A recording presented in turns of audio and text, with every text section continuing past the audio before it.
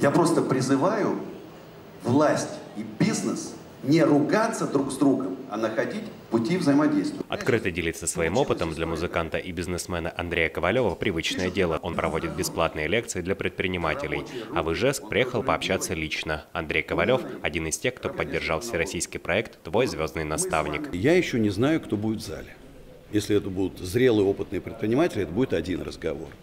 Если это будут начинающие или те, кто хочет открыть свой первый бизнес, это будет другой разговор. Я к слову, наставник, такой, знаешь, поводырь, там, да, который все делает за человека, отношусь настороженно. Никто за тебя бизнес не сделает, кто бы тебе чего не советовал. Нужно делать самому. А я, конечно, советом помогу.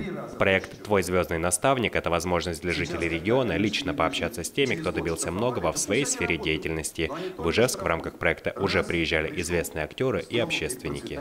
Мне этот человек интересен, он э, рассказывает очень много полезного, как начинающим предпринимателям, так и предпринимателям со стажем принципе, приехал подчеркну, э, подчеркнуть для себя полезной информации. А еще у участников встречи была возможность представить гостю и свои бизнес-идеи и узнать его мнение. В рамках проекта проводится конкурс. От Удмуртии уже зарегистрировано более сотни инициатив. Оценивать их будет профессиональное жюри, а лучшие получат поддержку в реализации от звездных наставников. 23 числа у нас заканчивается регистрация.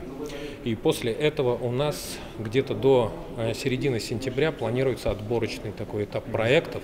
Но с одной стороны, у нас будут отобраны нашими экспертами, их в районе 33 человек по разным направлениям, э, лучшие проекты, а те, которые не прошли отборочный этап, мы тоже их без внимания не оставляем. И, э, как я уже ранее говорил, они получат в любом случае консультацию от консалтинговой компании. Впереди новые встречи. В ближайшее время в рамках проекта в Ижевск собирается приехать олимпийская чемпионка по легкой атлетике Татьяна Лебедева. Александр Демидов, Юрий Зеленький. Новости.